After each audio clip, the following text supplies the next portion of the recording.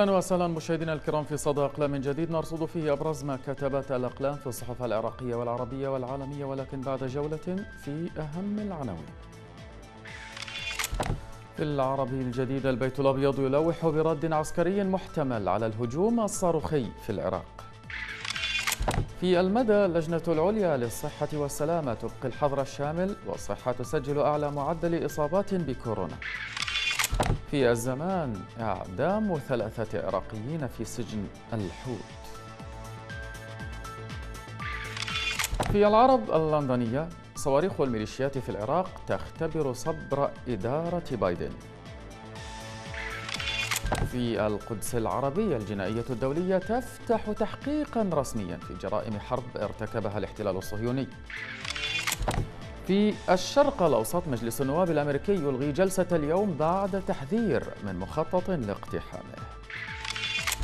وفي عربي 21 إدارة بايدن عقدت أول لقاء مباشر مع جماعة الحوثي للضغط باتجاه إنهاء الحرب في اليمن.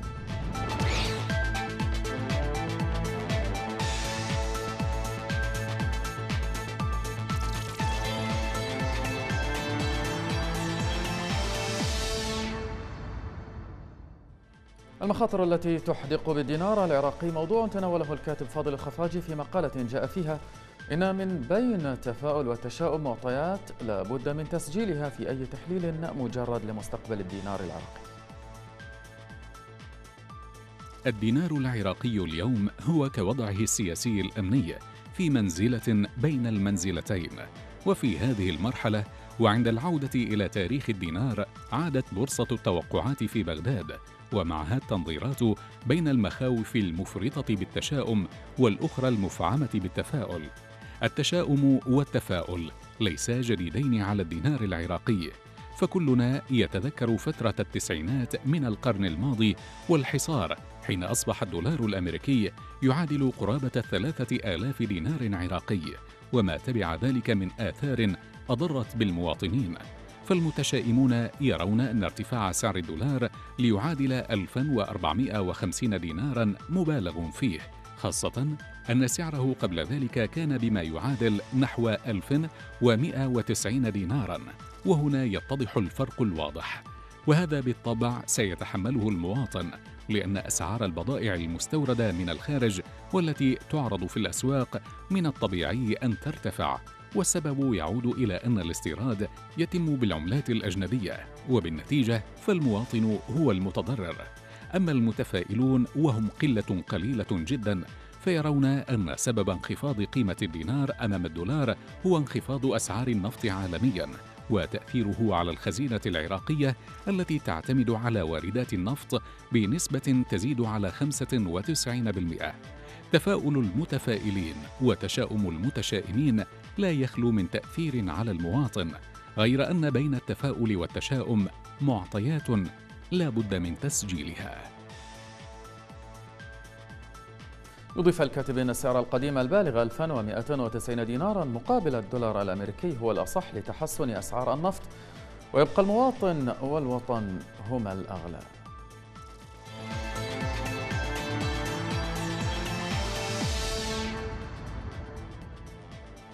انهيار السيادة في العراق ولبنان. موضوع تناولته الكاتبة باريا ألامودين في مقالة جاء فيها. ترى طهران أن الدول العربية الواقعة تحت سيطرتها هي ورقة تفاوض ودرع عسكري. إن زعماء الدين الإيرانيين سيبيعون هذه الدول أو يسمحون بتدميرها بسرعة. إذا حقق ذلك مصالحهم هكذا تزول الأمم. يسير العراق ولبنان بنفس الطريق الذي سلكته اليمن وسوريا. حيث تتعرض العناصر الأساسية لقيام الدولة للتفكيك في حين أن من هم في مواقع النفوذ إما غير قادرين أو غير راغبين في العمل. إن الوضع الكارثي الذي يواجه هذه الدول يجعل الأمور بسيطة للغاية. إما أن تكون هناك دولة ديمقراطية ذات سيادة أو أن هناك فوضى ميليشياوية. يعرف اللبنانيون والعراقيون جيدا معنى الاستيقاظ كل صباح على جثث ملقاة على جوانب الطرق تملأها ثقوب الرصاص. هناك مؤشر آخر يظهر في كيفية قيام طهران بجر لبنان إلى فلكها حيث وصف خبراء صفقة للبنان لاستلام 500 ألف طن من زيت الوقود من العراق بأنها خدعة سخيفة لإيران لتهريب النفط في انتهاك واضح للعقوبات. فإن سيطرة حزب الله على الموانئ اللبنانية تمهد الطريق لتصدير كميات أكبر من النفط الإيراني. في العراق أيضا قتل عشرات النشطاء والصحفيين على أيدي الميليشيات. إيران بنت تحصينات ضخمة على طول الحدود بين العراق وسوريا كقاعدة أمامية لفض السيطرة على شرق سوريا وتهريب الصواريخ والذخائر. وفي لبنان كم مرة وقفت ما تسمى بالمقاومة الإسلامية وشاهدت مواطني غزة يقصفون إذا ما هو الهدف من هذه المقاومة الإسلامية؟ ببساطة هناك مجموعة من الدويلات التي يهيمن عليها وكلاء موالون لإيران وتضيف الكاتبة ينصب كل أو ينصب كل من حزب الله وإيران نفسيهما على أنهما حماة لبنان والعراق بينما هما في الحقيقة يضمنان الدمار الوشيك لهذه الدول.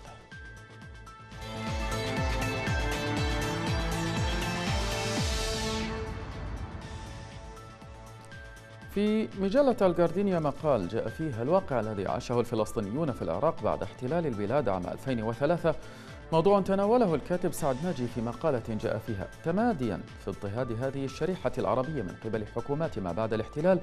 أصدر قانون جديد عام 2017 ويلزم الفلسطينيين المقيمين في العراق بالحصول على موافقة على الإقامة وضرورة تجديدها سنوياً. يعود تاريخ الوجود الفلسطيني في العراق إلى عام 1948 عندما تم تهجير الشعب الفلسطيني قسرا من قبل العصابات الصهيونية حيث تم نقل عدد من العوائل الفلسطينية من قبل الجيش العراقي المنسحب وتم إيواؤهم في معسكرات الجيش في البداية ثم تم توزيعهم على مخيمات في بغداد والموصل والبصرة. وأتذكر جيدا وأنا طفل صغير أحد هذه المخيمات والذي كان يقع في منطقة البتاوين وسط بغداد. وبعد احتلال العراق شجع الاحتلال الميليشيات على مهاجمة المجمعات السكنية للفلسطينيين وانتزاع ممتلكاتهم وقتلهم بصورة وحشية وطردهم من مساكنهم ما أجبر أعدادا كبيرة منهم على الهرب باتجاه الدول العربية المجاورة. وعندما لم يسمح لهم بالدخول بدعوى أنهم لا يحملون جوازات سفر اضطروا إلى إقامة مخيمات في الصحراء على الحدود لتؤويهم وعوائلهم ثم رحل معظمهم إلى أمريكا الجنوبية أو إلى المحافظات الكردية شمال العراق. وبسبب الإجراءات التعسفية لم يبقى في العراق إلا بضعة آلاف منهم. ويقال إن الباقين لا يتجاوزون الثلاثة آلاف وخمسمائة إلى ثلاثة آلاف وثمانمائة فرد. إن معظم المساكن التي كانوا يسكنونها تم طردهم منها وقطعت عنهم كل أشكال الإعانات. وهناك إحصائيات تقول إن حوالي 700 فلسطيني تمت تصفيتهم من قبل القوات الغازية ثم الميليشيات المسلحة وفي بعض الأحيان من قبل أجهزة الدولة الجديدة. ويضيف الكاتب كما صدر مؤخرا قانون يقول إن المواطن الفلسطيني إذا غادر العراق ثلاثة أشهر فعليه الحصول على سمة دخول أي فيزا جديدة للعودة إليه وإن كان مقيما فيه عقودا أو كانت عائلته ما زالت تقيم فيه. وغالبا ما يسوف هذا الطلب أو يرفض بينما رعايا دول أخرى على رأسها إيران يدخلون العراق ويقيمون فيه دون الحاجة إلى سمة دخول.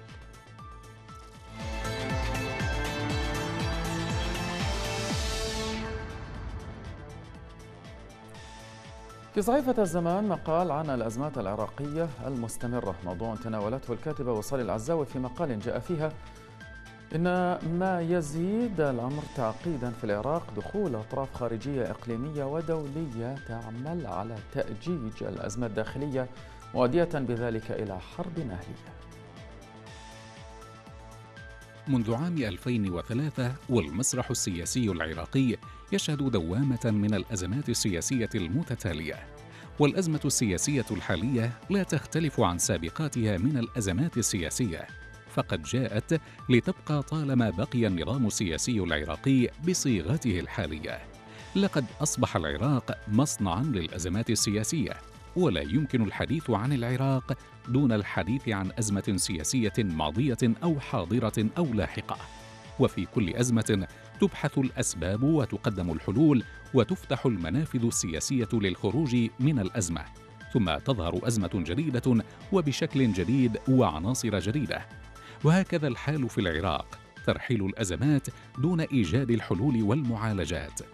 إن النظام السياسي الجديد في العراق بني على أساس حكومة الشراكة والذي يعني مشاركة الجميع في الحكم وفي صناعة القرار بعيدا عن نتائج الانتخابات وبعيدا عن رأي الناخب العراقي وفق ما يسمى بالديمقراطية التوافقية وهي ديمقراطية جديدة ابتدعتها القوى السياسية لضمان مصالحها ووجودها في السلطة حيث تفرض هذه الآلية إشراك الجميع في الحكومة ومؤسسات الدولة حسب حجم المكون والحزب والطائفة وضرورة توافق الجميع على أي قرار سياسي أو اقتصادي أو اجتماعي يتعلق بمستقبل البلاد قبل إقراره.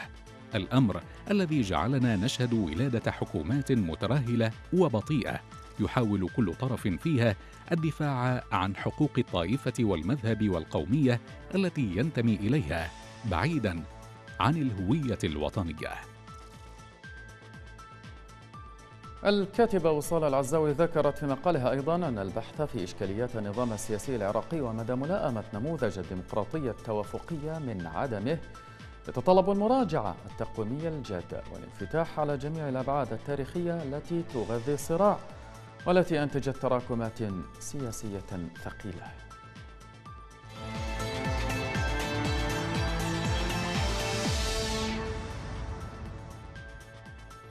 ما تعرض له الفلسطينيون والسوريون من انتهاكات إنسانية والصمت الأمريكي. عن ذلك موضوع تناوله الكاتب رياض معصعص في مقالة جاء فيها. ليسمع سادة البيت الأبيض أصوات الفلسطينيين الذين يجرف زيتونهم وتهدم بيوتهم وتبتلع أراضيهم من التنين المحتل. لا يزال كوكب المريخ جرما غامضا في الكون القريب المحيط بنا. وانشغل به الفلكيون منذ القدم. هل يحتوي على الماء؟ هل هو مأهول بالحياة؟ هل على سطحه مخلوقات خارقة ترسل إلينا بصحونها الطائرة؟ هذا الكوكب الأحمر أخذ حيزا كبيرا من تفكير ومراقبة الفلكيين وقد رصدته أكثر من حضارة وأرسلت دول عدة مركبات فضائية لمحاكاته وجاءت المركبة الأمريكية الأخيرة لتحط على سطحه كأول نجاح منذ القدم منذ أن خلق هذا الكون في ستة أيام. وسجل ميكروفون المركبة أول صوت منبعث من هذا الكوكب. صوت سمعه سكان كوكب الأرض. وهلل علماء ناسا لهذا النجاح الفلكي مما لا شك فيه أن صوتا من المريخ خطوة علمية كبيرة. ونجاح الإنسان في اختراق أسرار هذا الكوكب الأحمر وسماع الصوت المرسل من المريخ لا يمنع من سماع أصوات تنبعث من حناجر الشعوب المقهورة والمقموعة والمذبوحة من الوريد إلى الوريد وخاصة ممن أرسل هذه المركبة ونصب نفسه شرطيا على العالم. كيف نسمع صوتا من المريخ ولا نسمع أصوات شعوب تعاني القمع والقتل والتشريد على كوكب الأرض؟ فالفلسطينيون يصرخون منذ لعنة بلفور الكبرى ولا حياة لمن تنادي يقتلون يشردون ينامون في العراء. هل يسمع صراخ السكان السوريين الذين يقتلهم النظام ليل نهار؟ فقتل وتعذيب وحشي ومنذ خمسين عاما تحت حكم نظام الأسد. ويقول رياض معصعص في مقاله أيضا هل يسمع سكان البيت الأبيض صراخ سكان سوريا الذين يرزحون تحت حكم مستبد يقتلهم ليلا نهارا حتى بالسلاح الكيميائي؟ الذي قال باراك أوباما إنه خط أحمر ثم وجدنا أنه غير لونه سريعا كي لا يزعج إيران حليفة الأسد ويفسد على نفسه. توقيع الاتفاق النووي معها.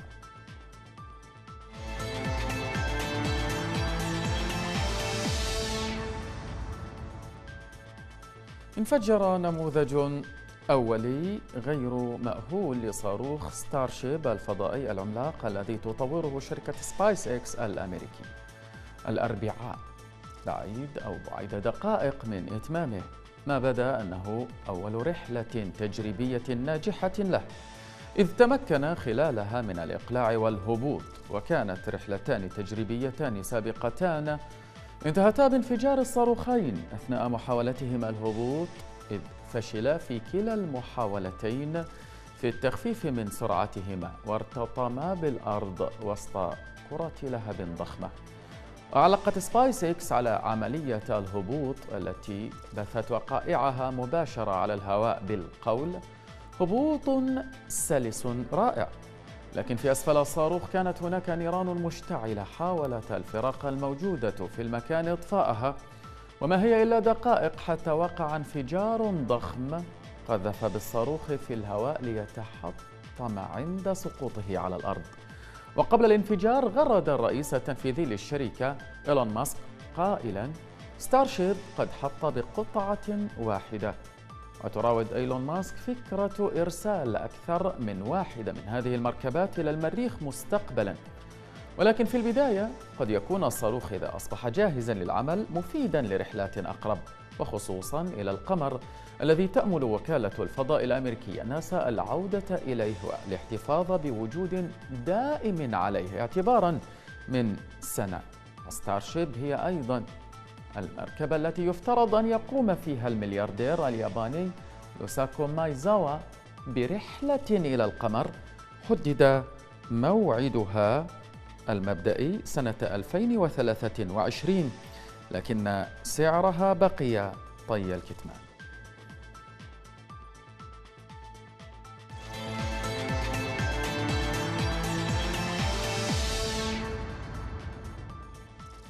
الآن إلى الكاريكاتير.